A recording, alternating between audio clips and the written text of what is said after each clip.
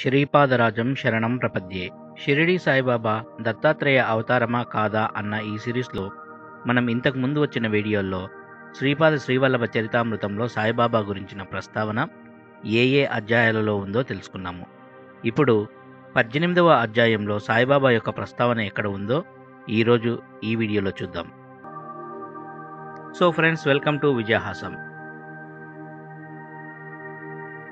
శ్రీపాదవల్లభగురో గురో వదనారవిందం వైరాగ్య దీప్తి పరమోజ్వలమద్వితీయం మందస్మితం సుమధురం కరుణార్ద్రనేత్రం సంసారతాపహరణం సతతం స్మరామి అంటూ ఆ దత్తభగవాను స్మరిస్తూ ఈ వీడియోని మొదలు పెడదాం ఈ అధ్యాయంలో సాయిబాబా ప్రస్తావన చర్చించడానికి ముందు ఈ అధ్యాయం యొక్క సందర్భాన్ని తెలుసుకుందాం. శంకరభట్టు దేశాటన చేస్తూ కురుంగడ్డకు బయలుదేరి వెళ్తుండగా ఒక ఊరి పొలిమేరలో పరిగెత్తుకొస్తున్న ఒక స్త్రీ ఆమె వెనుక ఆమెను తరుముతూ వస్తున్న ఇద్దరు బ్రాహ్మణులు శంకరభట్టుకు ఎదురుపడతారు. ఆ స్త్రీ శంకరభట్టును కాపాడమని ప్రాధాయపడుతుంది. శ్రీపాద శ్రీవల్లభుల ఆశీస్సుల చేత శంకరభట్టు వారికి మంచి మాటలు చెప్పి ఆ స్త్రీని కాపాడి ఆ బ్రాహ్మణులు ఇద్దరిని తనతో పాటు శ్రీచరణుల సన్నిధికి తోడుకొని పోయాడు.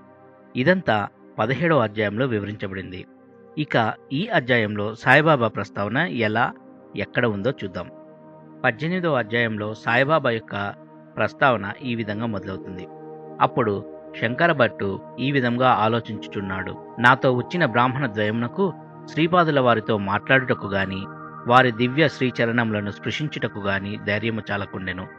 శ్రీపాదుల వారు నా వైపు చూచి నాతో వచ్చిన ఆ ఇద్దరు ఆగంతకులు ఎవరిని ప్రశ్నించిరి? ప్రభు దివ్య శ్రీచరణుల దర్శనము కోరి వచ్చిన ఆ ఇద్దరునూ కూడా బ్రాహ్మణులే అని నేనంటిని. దానికి ఆ ప్రశాంత సుందరుడు నాయన వీరు బ్రాహ్మణులుగా కనిపించుటలేదే గోమాంస భక్షణ చేయు మ్లేచ్చుల వలె తోచుచున్నారు. యథార్థమును వీరినడిగే తెలుసుకునవచ్చును అని అనెను.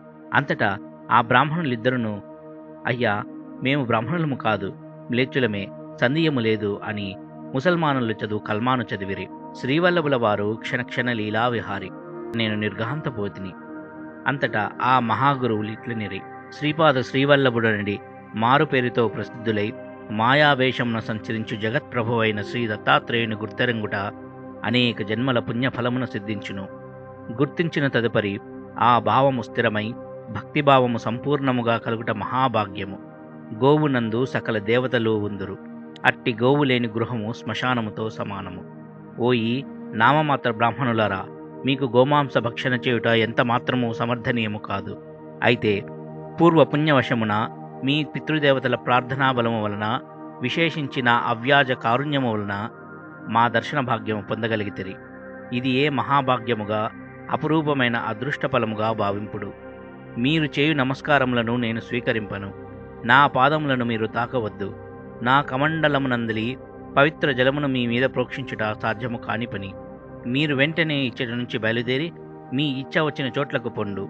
మీకు అన్నవస్త్రములకు లోటు లేకుండా చూచెదను. మీరు మ్లేచ్ఛ వనితలను వివాహమాడి మ్లేచ్ఛ ధర్మమును ఆచరింపుడు.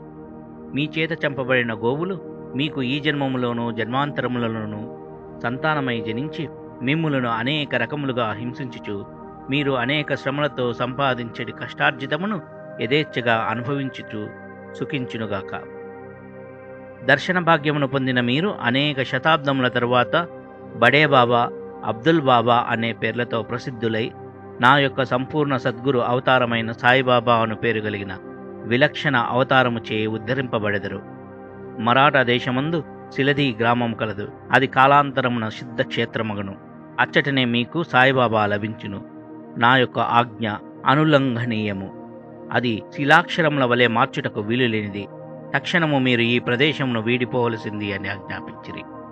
ఈ విధంగా పద్దెనిమిదో అధ్యాయంలో దత్తాత్రేయుడు సాయిబాబా అను పేరు కలిగిన అవతారమును తాను ధరించబోతున్నాను అని చెప్పి చెప్పారు.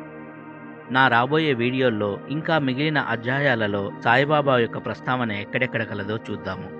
So don't miss the series. ఇంకా ఇలాంటి ఇంట్రెస్టింగ్ అండ్ డివోషనల్ టాపిక్స్ కోసం నా ఛానల్ని సబ్స్క్రైబ్ చేయడం మర్చిపోద్దు అదేవిధంగా పక్కనే ఉన్న బెల్ ఐకాన్ని క్లిక్ చేయడం ద్వారా నేను పెట్టే ప్రతి వీడియో నోటిఫికేషన్ మీకు వస్తుంది. మీకు ఈ వీడియో నచ్చినట్లయితే లైక్ చేయండి షేర్ చేయండి కామెంట్ చేయండి. స్టేట్ యూన్ టు మై ఛానల్